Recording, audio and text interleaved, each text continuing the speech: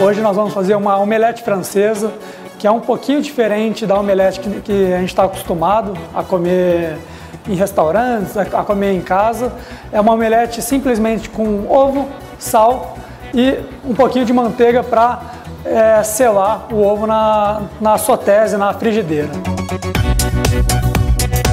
A dica que nós demos aqui para os alunos, para os, os desafiantes, foi que eles vão trabalhar com dois ovos, simplesmente. Nesses dois ovos você pode usar os dois juntos ou um separado, conforme for da, da necessidade do desafiante. Com dois ovos, ele tem uma maior chance de conseguir fazer uma omelete perfeita. O que é uma omelete perfeita, francesa perfeita? Ela não vai nada, simplesmente é selada de um lado e depois tem uma certa cremosidade no meio. Só até a sotese, a frigideira atingir 60 graus, 68 graus.